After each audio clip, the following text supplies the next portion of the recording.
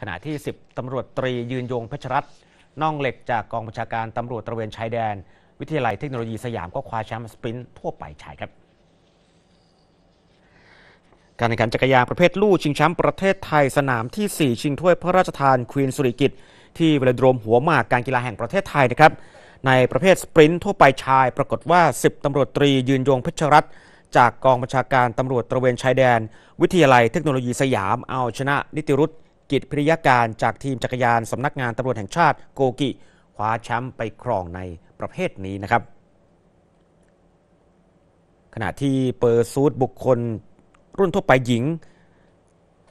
จันทรัตน์ปราณละพัฒเมธาจากทีมโยคะจันทราพบกับพลอยประพัฒน์ศรีสายภัย